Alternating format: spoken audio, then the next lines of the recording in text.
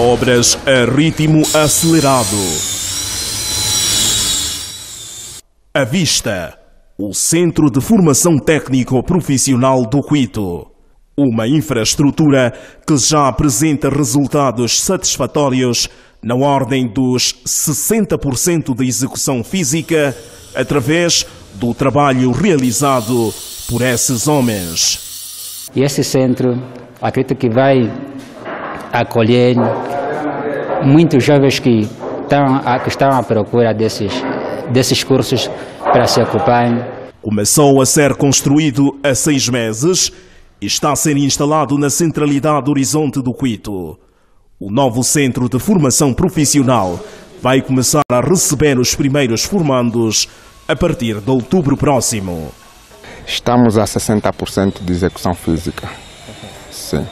Neste momento estamos uh, a fazer os arranjos do pavimento exterior. Uh, estamos com execução, já estamos a, a, a pintar, estamos a executar as janelas, isso com castelharias. O projeto contempla 15 salas de aula e conta com laboratórios que vão acolher jovens que necessitam da formação técnico-profissional em substituição do antigo edifício. É, eu espero que as condições que estamos a viver será diferente com as condições que poderemos encontrar. Aqui, perto de 3 mil alunos vão frequentar mais de 20 cursos técnico-profissionais em dois períodos. O destaque vai para a mecânica moderna.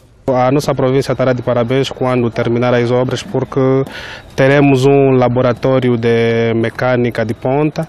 É, é um laboratório que nos vai trazer muitas valências nos futuros, nos futuros formandos na área de mecânica e também na área de bate-chapa, bem como na área, na área de pintura alta.